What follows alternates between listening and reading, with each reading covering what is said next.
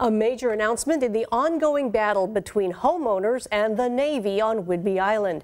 The Navy says it has concluded its environmental review of the impact of growler jet noise on the community. It will go ahead with its plan to greatly increase the number of touch and go flights by growlers at the outlying field in Coupeville by about 3,000 per year to more than 12,000 a year. Neighbors around the Coupeville area have been fighting for years to stop the increase, saying the noise causes health problems and decreases property values. The overwhelming majority of aircraft operations will remain at the Naval Air Station in Oak Harbor.